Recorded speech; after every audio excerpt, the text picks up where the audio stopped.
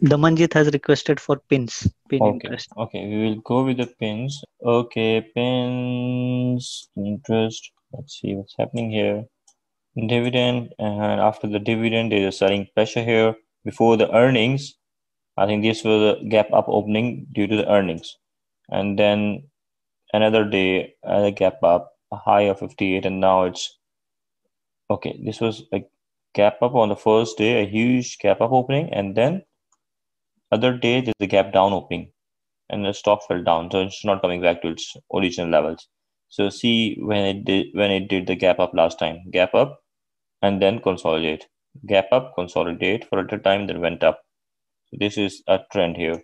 So i have like parabolic SAR applied here. So as per the parabolic SAR it is has not yet generated any signal.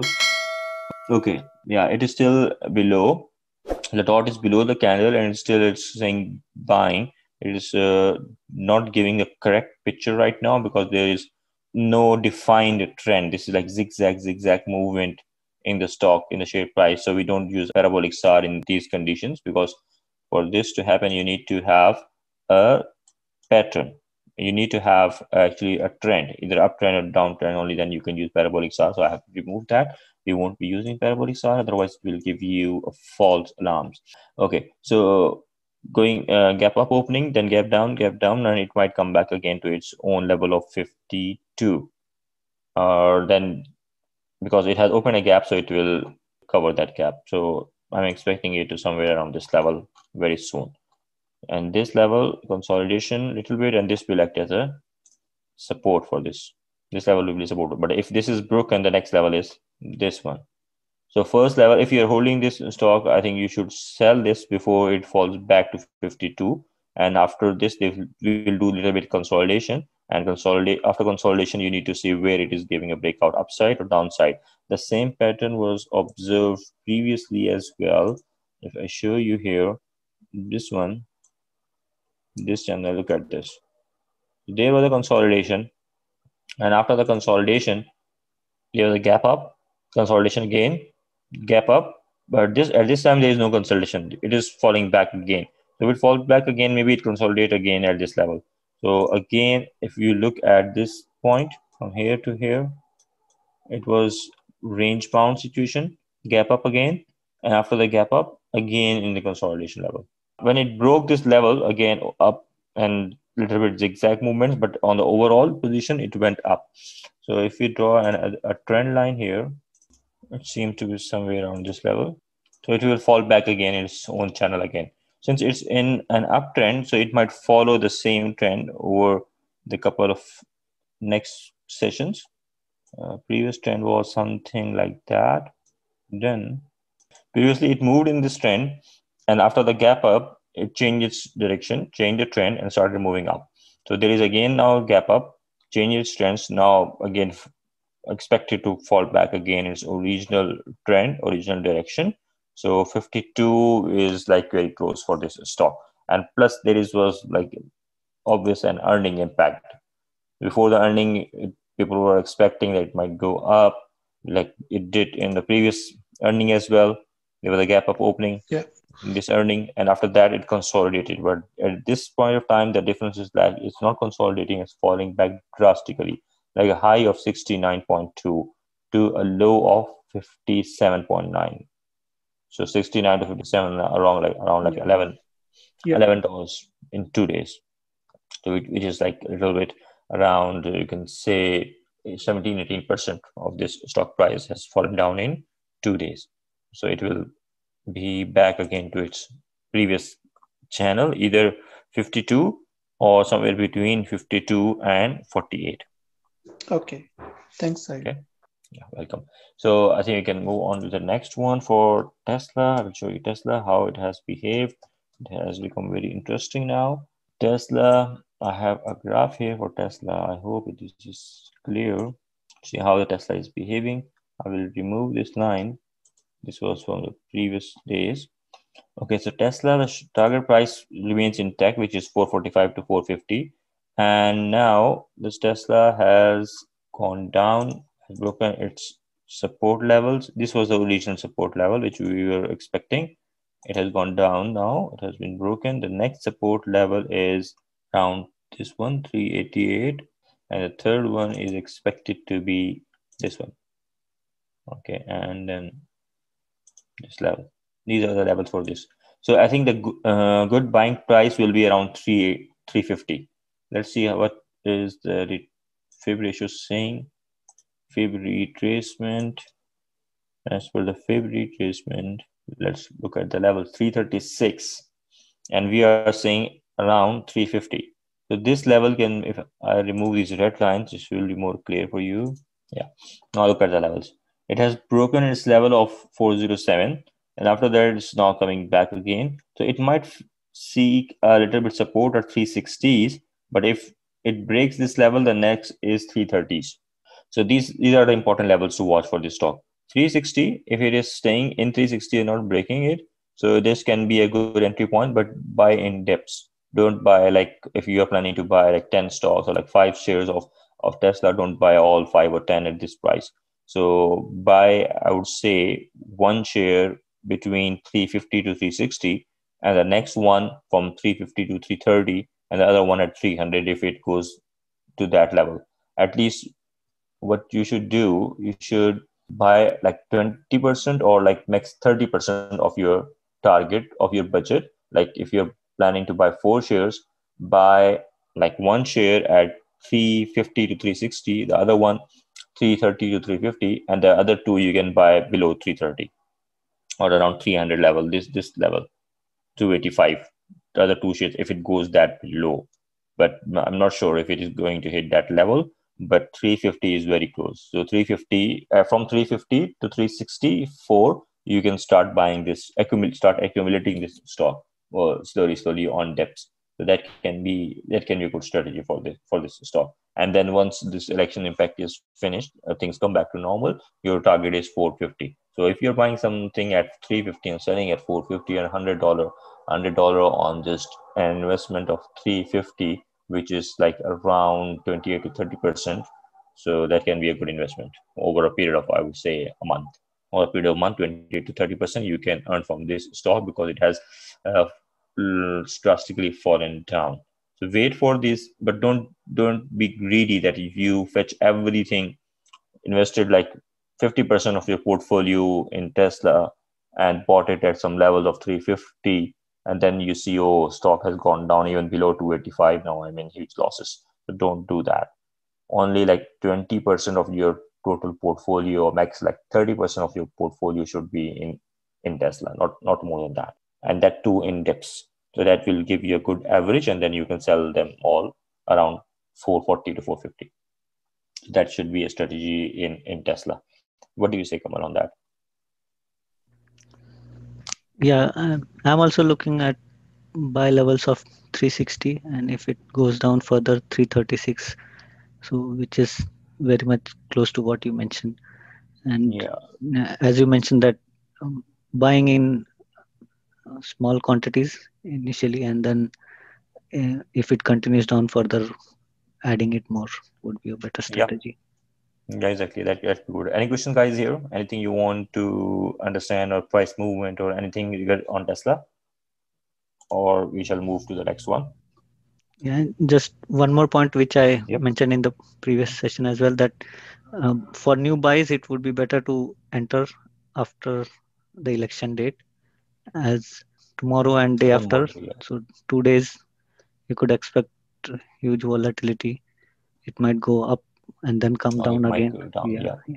So, so volatility is there, but newcomers if you, they don't want to take risks, so just hold on if the stock becomes stable and then you start entering. Yeah, that's good. Okay, we will move to Shopify. Okay, Shopify TSX. So this is also another good stock to watch. So Shopify here made a high of 1460 and 1500 previously, which is like its resistance level. So we will say 1460 is the resistance level for Shopify. And for last two, three days, it is falling down drastically uh, due to its earnings and coupled with the election days. So if you see in two days from 1406 to 1228, so around like 220, which is a huge thing. So it is falling down and coming back to its support level of 1200 of that 1200 level is broken. So it is it has a little support at 1175 as well uh, at this level. This is one support level. Okay so i will remove this. Okay i will remove this one from here. Okay, 1173 and then the next level 1128 and then the third level is 1093 at 61 percent retracement level. So expected buying for this stock shall be around this level of 1093 around 1100 i would say. Because the, this level of 1173 it might not hold for a long time and it may it may break. So the previously i will just remove this one uh, for, for a good view. Oh, okay. And then if you look at this candle this candle made a low at 1107 last time. I'm expecting somewhat similar to this 1107 and our Uh, the support is 1093 and one more thing guys when we see the support is 1093 it doesn't mean that it will exactly taught, uh, uh exactly touch 1093 it will be within the range similar to this candle. Like this candle was 1107 and the support was as 1093 so we we can safely say that the stock has taken a support at this level of 1093 or 61.8 percent retracement level because this was like very i mean very close to those to those levels. The similar thing we are expecting this time as well. So once this uh, once stocks falls down so somewhere around uh, on a closing basis you can say 1100 to 1130 so somewhere here. 11 because for this stock the price movement is like a huge it has like a good range. So the range average range of this stock is like i would say from 1400 from 30 40 dollars it moves and on, a, on any particular day a normal day. 30 dollars is fine for this stock. So 1100 to 1120 25 30 can be a good idea to buy one share of this stock. I would say again like 25% of your budgeted quantity. And then if it breaks down breaks further down so you can end buy another stock around around 1000 so that, that that should be a strategy small quantities at each dip. The first buying quantity should be if you are willing to take risk and you if you really want to take risk then first quantity you can buy around 1180 but for the newcomer it's not recommended.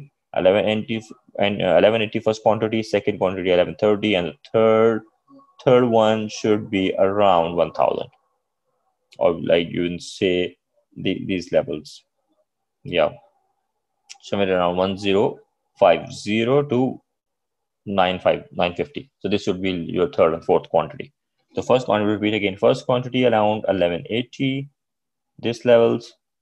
Second quantity around 11, uh, 1000 to 1120 third quantity should can be at this level 1050 and the fourth quantity can be at the level of 950 so this can be this will give you a good average around of around maybe like 1070 yeah.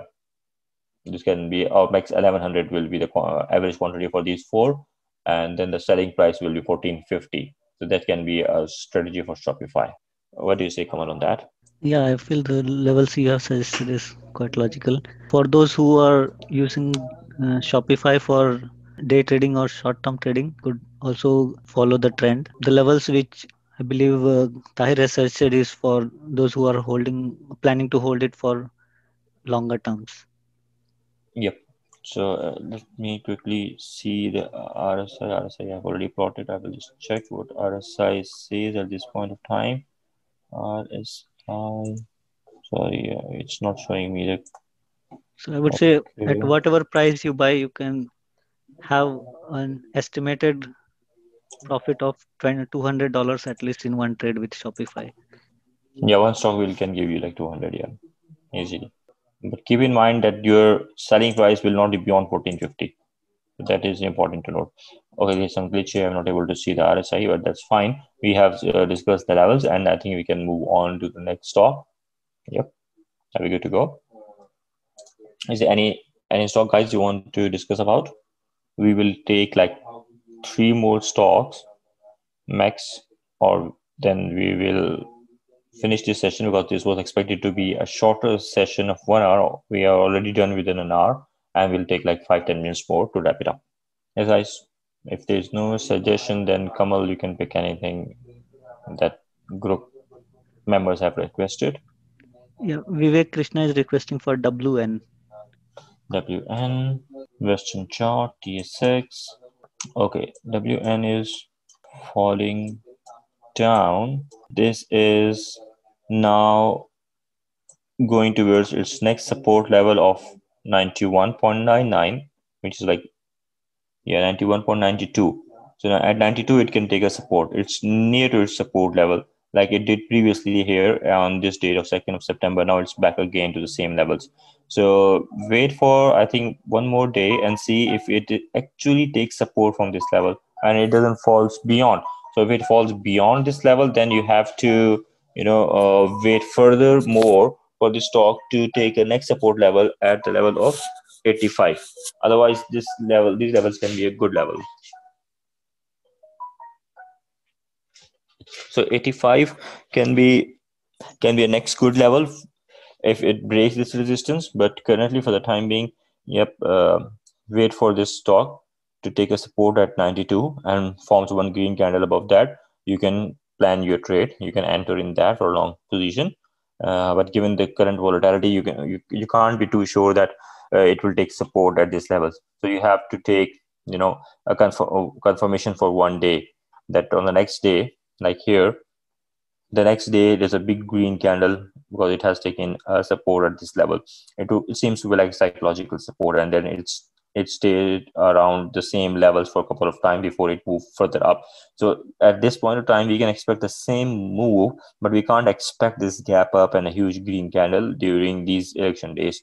So you have to wait till it touches this ground and then makes a green candle, and then you can enter in this stock, and then the levels can be the target can be 99. Earning date is near two dollar. Okay, previous earning was lost, and then even the loss it gave a dividend okay 17 november okay elections effect will like be cooling down earnings so it is it can go up on these earnings because even uh, in the losses it gave a dividend and here also it gave a dividend of 0.5 same dividend uh, but a positive it had a positive eps profit and dividend loss dividend and then the profit and then again the dividend will come. So what is happening on the dividend date? So before the dividend three four days before the dividend it was like a spike. And here the dividend and uh, nothing much before that. Okay so in a nutshell wait for nine, level of 92 and then your target will be 99 but enter only if it has given a green signal has formed a green candle above that that can be your entry point. Otherwise uh, we have to wait. Yep. Okay can we take another stock Chetan has a mm-hmm. basic question. How to identify resistance level and buy price? Which indicators or patterns we should use for analysis? I think we have had sessions based on that. Maybe we can share the link of the sessions where tahir had explained how to use candlesticks and also vxr had shared how some of the indicators can help to identify uptrend or downtrend. For now, maybe Tahir, would you like to? Uh, yeah, I will just quickly, uh. I'll quickly uh, tell you support and resistance. But for the detail, you can go and check the original videos for second or third, first video on our channel that is based on support and resistance. You watch video number one and two. Okay, but quickly, I will tell you the support is the line which uh, doesn't allow or the stock price to fall below that level and and it acts as a support. So in order to draw that you have to make sure that it touches at least two or three points on that on that line. For example if i talk about this one so it is touching about one two three these three level three four these four candles and this is acting as a support.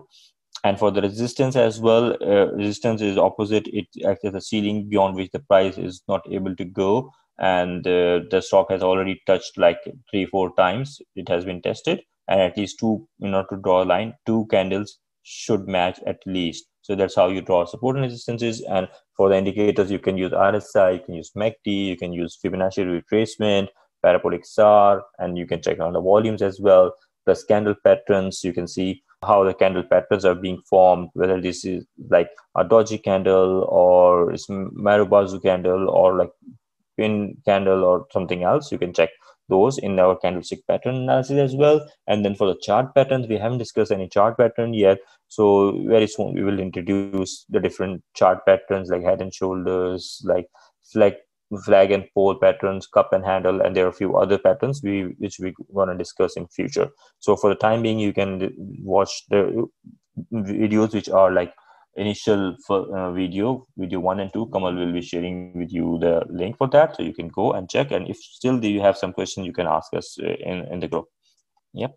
So okay so we'll take uh, one more stock which will be the last one and then we will call it a day and then if anyone has a question they can ask on on the group chat. Yes kamal the last one for today. Shall we take abs kbs abx oh, abx okay abx by gold Barrick Gold, we have been discussing this many times during our sessions. Okay, the Barrick Gold currently it, it has it is facing a little bit resistance at 35.64. So it took a support at the level of 34 around this level, and we have identified a level of th- uh, 34.7, and it actually yeah it actually did took support at this level, and now it is at 35. 6 which is acting as a resistance. So if this resistance is broken so that you can expect a short term target of 37 a very short term here. And then the next one is 38 so like it will have a resistance after like each two dollar. And then the next one is around 40 so ultimate target for abx is 40 if the conditions in the market remains remains good. If we quickly go and check commodity prices and see where the current gold price is right now. So gold is 1878. So it has like fallen down from 1900 plus and it is like below 1900 these days. So it goes well if economy performs good and gold prices are like rising in the international market then you can expect this stock to go towards 40 otherwise it it will be trading between 1 or 2 dollar. Let's say 35 is broken then 37 so this 37 then 38 so it will be 37 to 38 movement within this. And it if uh, at any point in time the world market keep an eye on the world market on the commodity prices of the gold if they are doing well. So the ultimate target for this stock is is 40 and we have been saying this for a, a very long time. So it, it is a stock to buy a hold for a little long term not for just a day trade. Because in the day trade you won't find any uh, you, you won't find it much attractive. But these prices are the good buying prices for this stock. So hold it for a longer term if you want for 40 or if you want to just get rid of this uh, quickly so 37 can be uh, initial selling point here. And earnings uh, earnings are positive, and last time earning was positive with a dividend, and I think it was uh, around 40% payout. And then again, the earnings are near. What happened the last earning date? Stock fell down actually. Here, stock gave a gap down opening, gap down, dividend, and earnings it is already it is already at the lower levels. Before it was at like if you can see it it was at the highest levels. Now stock is already at the low level at near support. So that and has actually taken this support and earning is on 5th of november. Maybe yeah during the coming sessions during the coming week a day in the coming week it will have earnings. So it will be moving roughly around uh, the same the same levels uh, 0.28 and then this is this earning is like uh, around double than the previous earnings like 90% of the previous previous one. So it will be you can see this stock expectedly go up as uh, compared to the previous one which was stock was falling down because it was like at uh, highest levels of those times. And this time it is near its support. Previously the difference was there was no support at this time and this was at its 52 week high prices apparently. And right now it is at much it is at a level which is like uh, which is acting as support level this support acts as actually a psychological support for the investors and they perceive that this level can sustain stock can sustain this level. Previously like this was at the highest levels. People expect okay it has already made its top it's already at high level so it might not go beyond. So that results in these sort of gap downs or something like that. So but at this point i would say like this is at the this price is a reasonable price to enter for a long term position of 40 yep. Any questions here guys? Okay. Then i think uh, uh, we will be ending our session now and if anyone has question they can ask us on on the group chat and we will be happy to answer that.